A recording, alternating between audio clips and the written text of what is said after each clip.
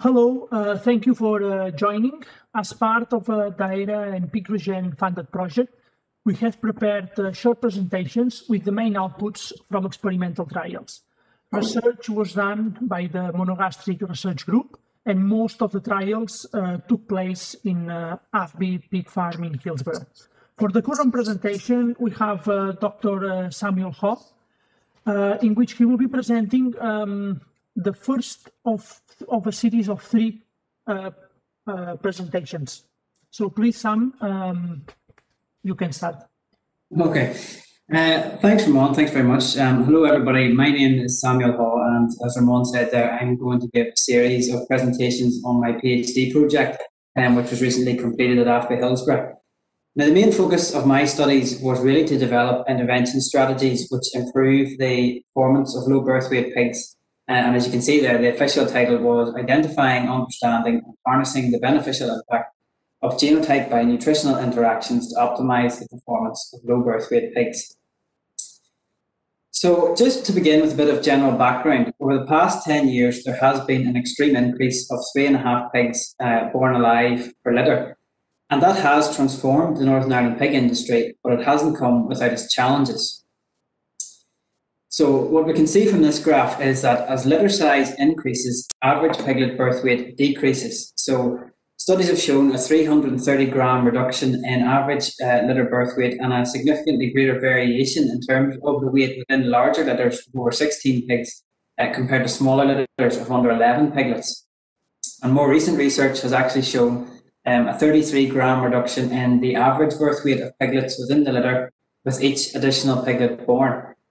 And 25% of our newborn pigs now record a birth weight of 1.1 kilogram or less. So these compromised pigs are forming a significant proportion of the total population. And now, why is that? It's largely due to a phenomenon known as intrauterine growth retardation, or IUGR, where the uterine blood flow of the sow is no longer sufficient to provide adequate nutrients to the, the high number of fetuses being harboured by the sow. And there's also only a finite amount of space within the uterus. So there's scope in the, the literature to show that the uterine capacity of the sow is actually restricting growth during gestation and reducing birth weights. And even position of the uter- of the, the fetuses within the uterus is becoming increasingly important. From this graph, what you can see is that the related effect of low birth weight is an elevated level of pre-weaning mortality with significantly different rates of survival between different birth weight categories.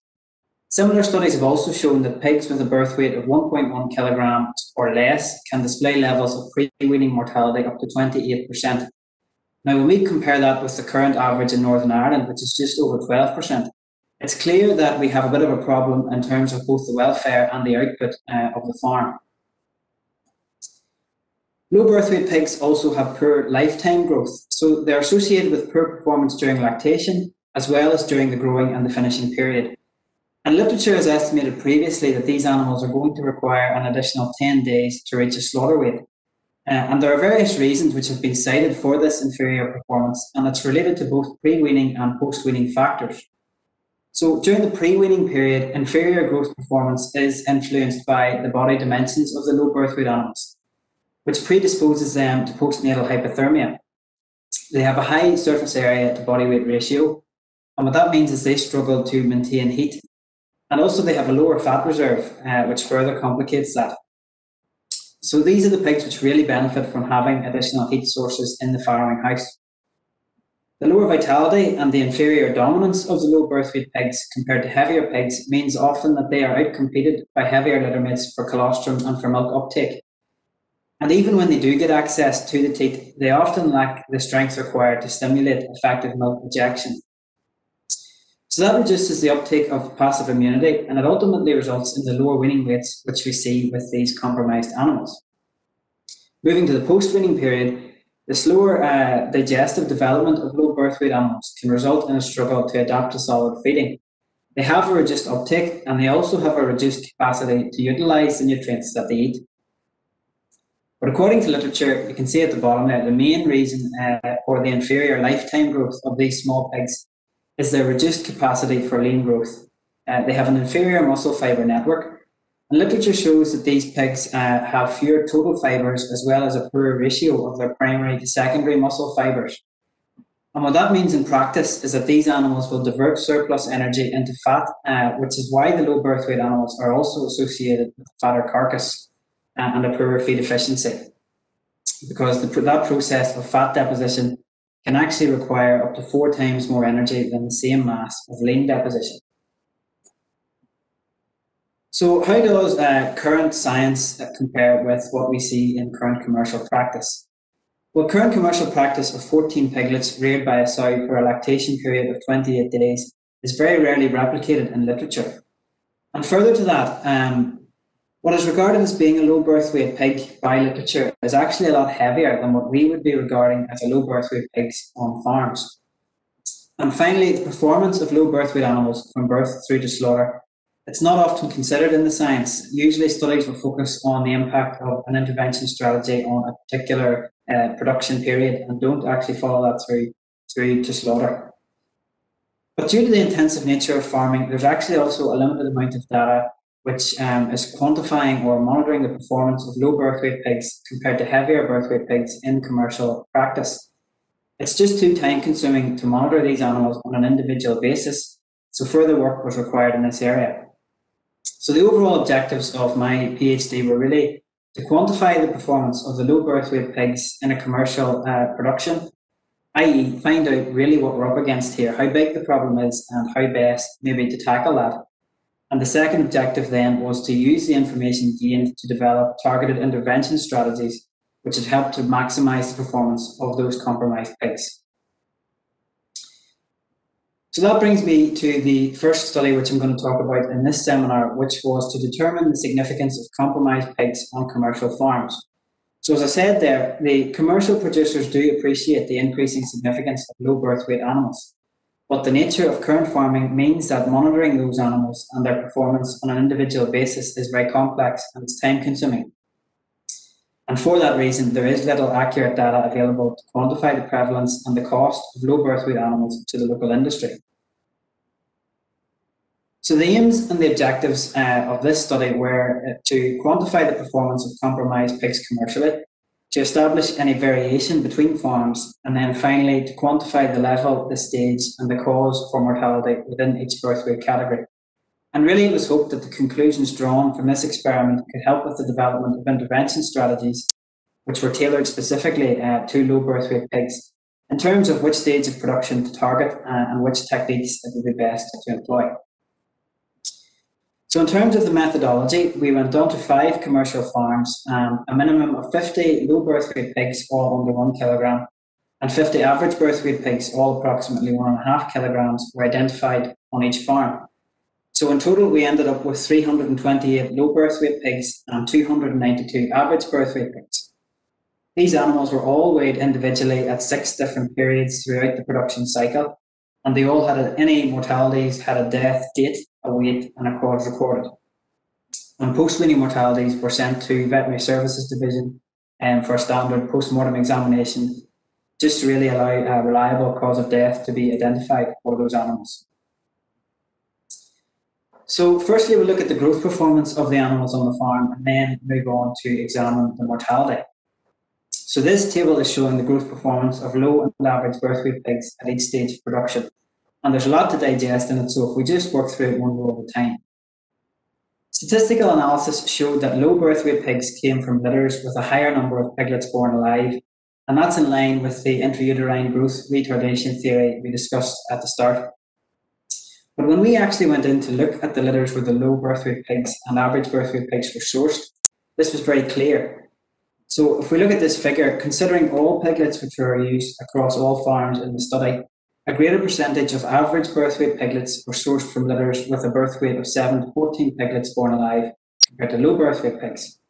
But on the other hand, there was a greater proportion of the low birth weight pigs sourced from litters from, uh, with a litter size of 15 to 22 piglets born alive compared to average birth weight pigs. So again, that all links back to the IUGR theory, where the mother can't provide adequate nutrition to the high number of fetuses carried, and also that there might actually not be sufficient space in the uterus to physically support the maximum growth of those larger litters that we're now seeing. and that results in an increased number of low birth weight pigs. So back to the original table. Again, as expected, low birth weight pigs were lighter throughout the trial.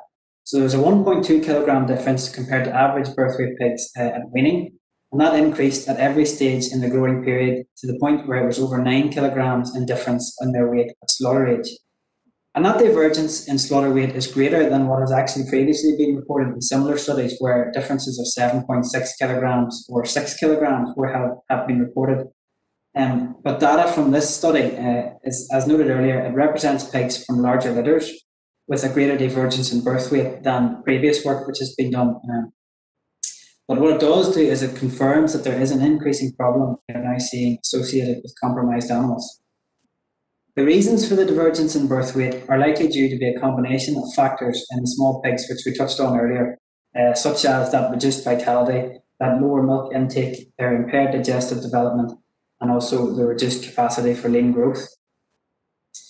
But it's also interesting to note that animals which were fostered did not perform as well as those remaining with their birth mother. And that would be in agreement with the literature, which states that fostered animals may have a reduced colostrum uptake. They may experience disrupted nursing episodes, and they can even be rejected by the foster mother, depending on the timing in which fostering occurs. When we looked at that in a bit more detail, uh, we actually found that it was the average birth weight pigs which were negatively affected by fostering. The performance of low birth weight animals was much the same whether they were fostered or not, but average birth weight pigs did much better when they were reared by their birth mother. It has to be said, regardless really of whether fostering negatively impacts on piglet performance or not, continual increase in litter size means that the practice of fostering is going to continue to be essential for producers going forward um, but further work may be needed here to determine which animals are best to foster to enhance the overall farm performance. This table shows the strength of the correlation between animal weight at various stages of production.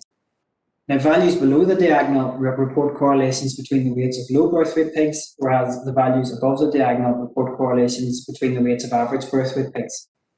The correlation between birth weight and subsequent weights was stronger for the low birth weight pig uh, population compared to average birth weight pigs, but the strength of the correlation between weaning weight and subsequent weights was much the same regardless of birth weight.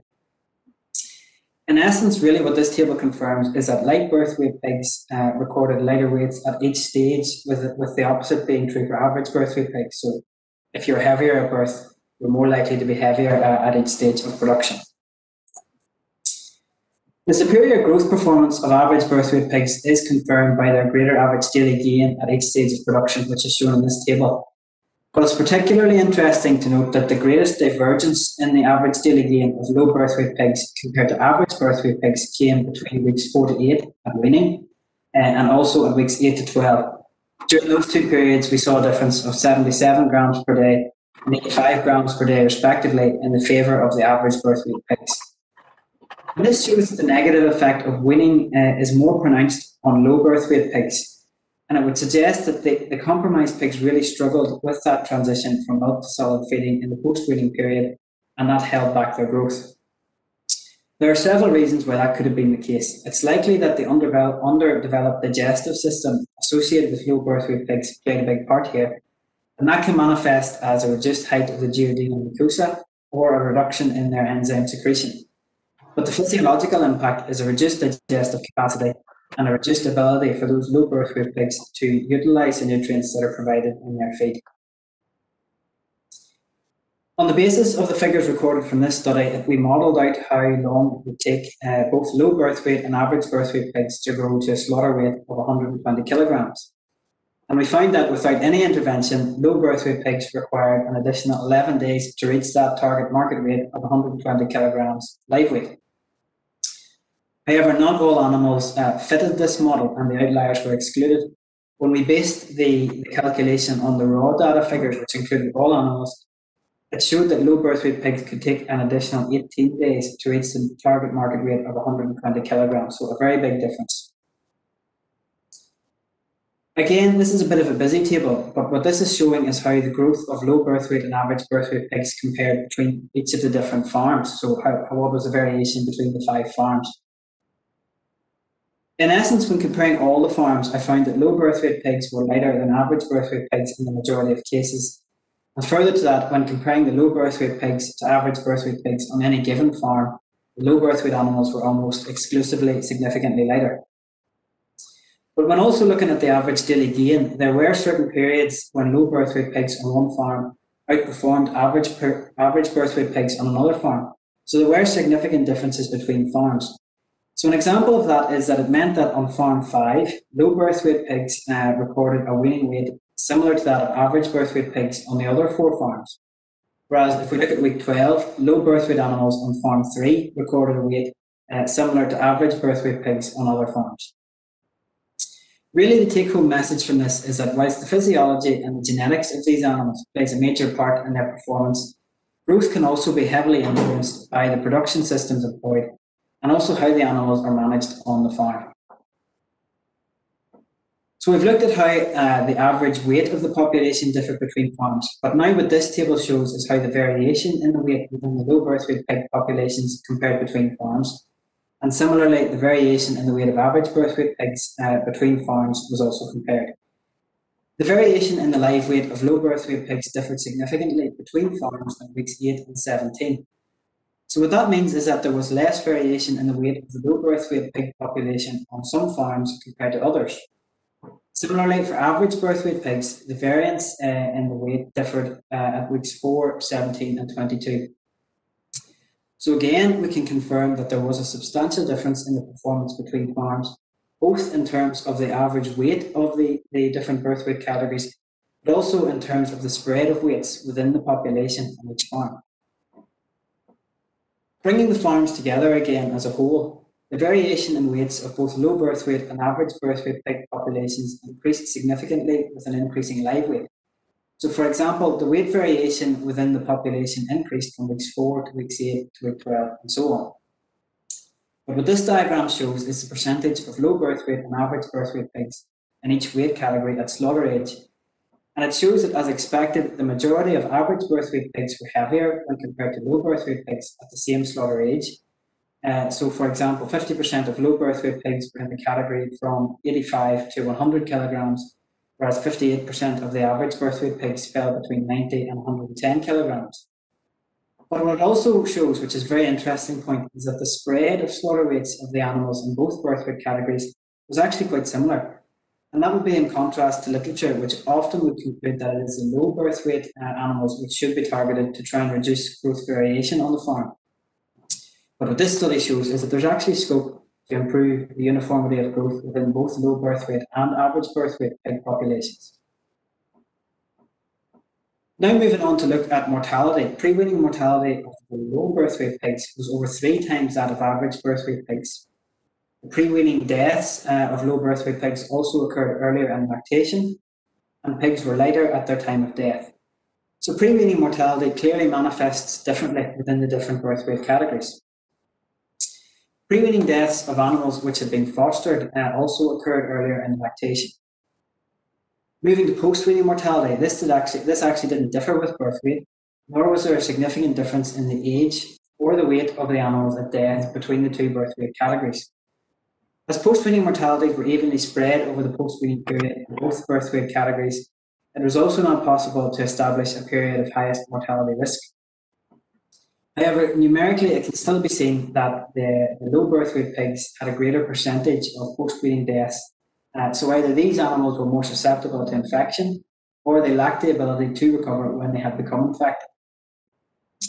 Another interesting point here was that the, pre, the post-weaning mortality rate of average birth weight pigs was actually greater than their rate of pre-weaning mortality. And that's an area of concern for producers because in addition to reducing income through a reduced number of pigs marketed, Post-weaning deaths also represent wasted investment for the farmer in terms of feed costs. Statistical analysis also showed a clear association between birth weight and the cause of pre-weaning death. So starvation and overlying of piglets were the major causes of pre-weaning mortality in low birth weight pigs. You can see there that they accounted for 28% and 49% of all deaths respectively. So it's clear that low birth weight pigs weren't getting access to milk that's probably a combination of their reduced vitality and also being outcompeted by heavier and stronger litter mates in these larger litters for what is a limiting local resource. That would account for both the high level of starvation as well as the earlier timing of their deaths. Also, as I said earlier, the, birth, the high surface area to body weight ratio of low birth weight pigs, combined with their low body fat reserve, increases their susceptibility to postnatal hypothermia. And this increases their likelihood of crushing due to lethargic movement of most chilled piglets. And that explains the high number of low birth weight pigs which died following overlying by the sow uh, during lactation. In contrast, 30% of pre-weaning deaths for average birth weight pigs were due to an unknown cause, with a further 22% due to overlying by the sow and 13% due to scouring related uh, illness. Looking at post-weaning mortality now on the right-hand side, no obvious differences were identified in the causes of post-weaning deaths between low birth weight and average birth weight pigs. But if we combine and look at both birth weight categories, 20% of mortalities were uh, contributed to by the alimentary tract infection, and the respiratory tract was also affected on 20% of post-weaning deaths. Digestive disorders have previously been linked to the abrupt withdrawal of the milk, uh, the maternal milk at weaning. That milk supplies a variety of bioactive compounds uh, which aids digestive and immune development. And animals can also suffer negative changes to that intestinal structure and function due to insufficient feed intake post-weaning and that can lead to intestinal inflammation. So those would be some of the causes of the, the alimentary tract illnesses uh, seen in this study. With regard to the respiratory disease, high animal stocking density, inadequate ventilation, and failure to maintain house hygiene uh, can increase the risk of those respiratory infections. So to conclude uh, this first study, low birth weight pigs weighed almost 10 kilograms less than average birth weight pigs at, a slaughter age of 22 weeks. The low birth weight pigs recorded a 56 gram per day slower growth rate throughout from birth through to slaughter. This divergence in the performance between low birth weight and average birth weight pigs was mainly driven by that poor average daily gain of the low birth weight pigs during the immediate post-weaning period.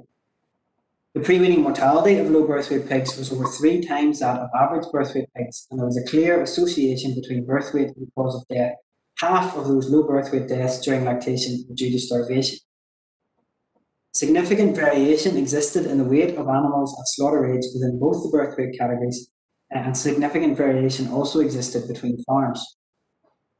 But really, the take home message from this study was that intervention is required during lactation and the immediate post weaning periods to try and minimise that mortality and to maximise the weight of our low birth weight pigs. Um, so that's the end of the first seminar. I'd just like to thank uh, the Department of Agriculture for their sponsorship to carry out these studies uh, and as well as the help of Pig Regen of AFBI, uh, the AFBI farm staff, Uh, and Queen's University for their help and advice throughout. Thank you.